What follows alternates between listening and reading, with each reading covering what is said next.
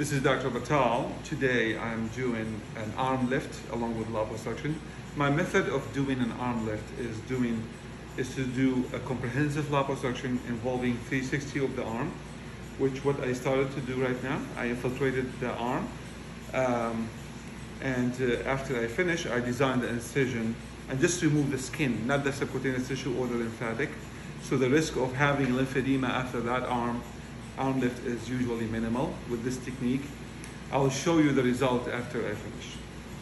Uh, I have completed the arm lift uh, along with 800 cc of fat uh, liposuction. I did this technique with which include uh, 360 liposuction followed by only skin excision. And um, when I excised the skin, I did not remove any lymphatic tissue with it which ensure adequate lymphatic drainage through the arm and a minimal chance of, uh, um, of lymphedema.